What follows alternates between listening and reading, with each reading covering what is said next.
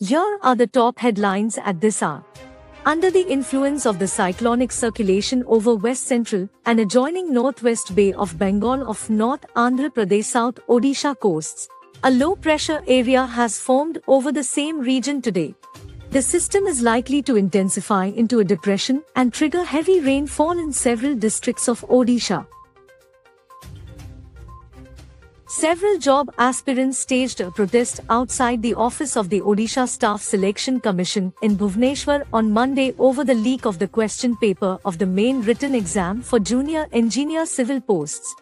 They have demanded strict action against all those including the officials involved in the scam. Amid the crisis in ethnic violence hit Manipur, the first goods train carrying food grains and essential commodities reached the Khongsang railway station in the state from Guwahati on Monday. Manipur CM Biren Singh, other ministers and officials were present when the train reached the Khongsang railway station.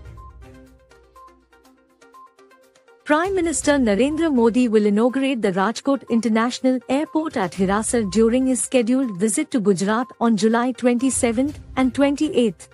Under PM Gati Shakti project, the Rajkot International Airport has been constructed at a cost of 1405 crore rupees which is positioned approximately 30 kilometers from Rajkot near NH27. Addressing the third meeting of G20 Disaster Risk Reduction Working Group, Prime Minister's Principal Secretary PK Mishra said that India has transformed the way disaster risk reduction is financed. Mishra emphasized on pursuing structured mechanisms at all levels for financing all aspects of disaster risk reduction.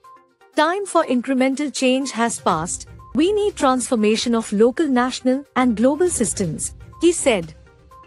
And, amid prolonged dispute between traders and makeshift shopkeepers, Bhubaneswar Municipal Corporation Commissioner informs that the market building issue will be resolved within three days. He said that land is being identified to relocate street vendors.